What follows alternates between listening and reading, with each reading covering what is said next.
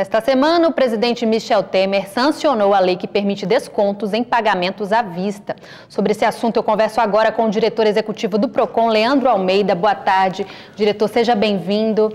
É, de fato, o que diz essa lei sancionada pelo Temer? Boa tarde, Sabrina. Bom, o que a lei traz é a possibilidade na, da, da diferenciação no preço do produto na hora da venda, conforme a forma de pagamento. De uma forma mais clara e explicada, é, é possível agora que os comerciantes façam a venda é, no cartão de crédito e débito com um preço e no cartão parcelado com um outro preço e um terceiro preço seria na venda em dinheiro. Mas o importante é que a lei obriga que os comerciantes divulguem através de faixa ou cartaz na, na entrada da loja qual é a, o desconto praticado na venda à vista em dinheiro. É como deixar o código do consumidor visível também, né? Então agora tem que ter essa visibilidade também. Perfeitamente. Alguns, é, alguns é, estudiosos da área de consumo estão é, entendendo como uma, um retrocesso essa legislação, porque era proibido a prática de aumento de preço na venda do cartão de crédito e hoje a lei permite essa prática. A finalidade do legislador, do presidente, nesse caso, foi criar é, uma possibilidade do comerciante é, retirar do preço do seu produto as taxas cobradas pelo cartão de crédito para que o produto na venda em dinheiro tenha um desconto maior. Mas ela é prerrogativa, né?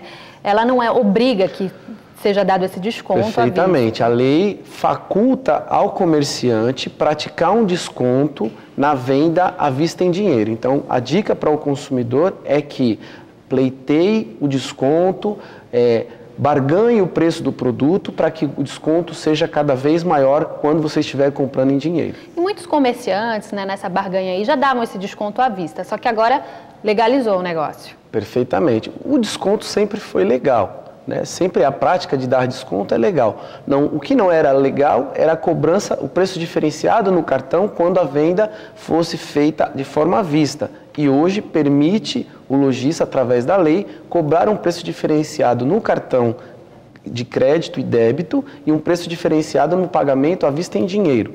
Então, é importante que o Código de Defesa do Consumidor, eu costumo dizer que o maior fiscal não é o PROCON, mas sim o consumidor. Na hora da compra, na hora da, de barganhar a compra do seu serviço ou produto, que ele barganhe um preço melhor. Agora as pessoas estão se perguntando, será que os comerciantes, de uma maneira mais esperta, não podem aumentar o preço aí e aí dar o desconto e, na verdade, não houve desconto nenhum, ficou um preço do que era antes? Sabrina, a grande discussão dessa legislação e da legislação, por exemplo, da, da cobrança de, da, das bagagens no transporte aéreo é justamente essa: se a lei veio a prejudicar.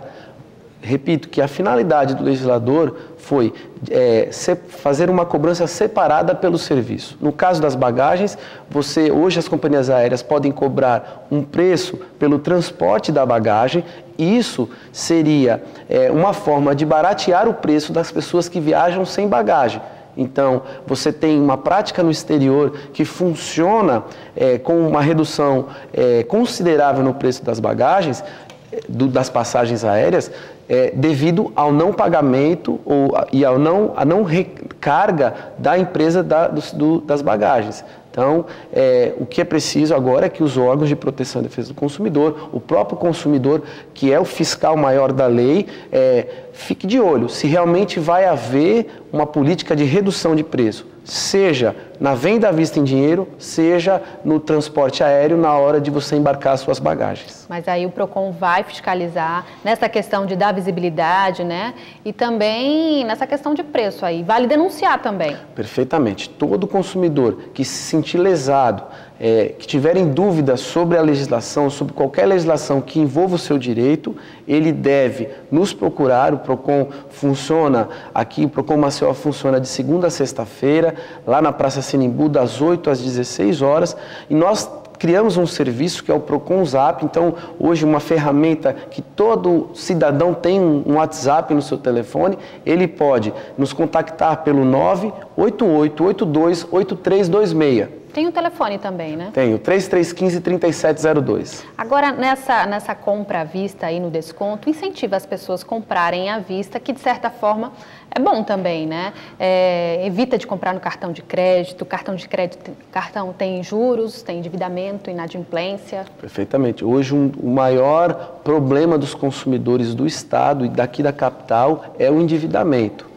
Então, hoje é, é preciso que as pessoas tenham um, um, consumo consciente e saibam ter um regramento financeiro. É preciso que o consumidor entenda que quando ele está passando o cartão de crédito, ele não está pagando, é o banco que está pagando por ele e por aquele pagamento o banco vai cobrar juros. E hoje, os juros de cartão de crédito têm sido o mais alto é, do mundo no, aqui praticado no país. Então, o consumidor, é, nós temos também um canal de atendimento para o superendividamento. Se o consumidor que está nos vendo agora está é, com, com dificuldade para negociar com o cartão de crédito, o cartão está cobrando um juros altíssimo, não está é, parcelando de forma que ele possa é, pagar esse parcelamento sem o, sem o comprometimento da sua renda, então ele nos procura, nós vamos intermediar, nós vamos mediar uma conciliação entre o banco e esse consumidor.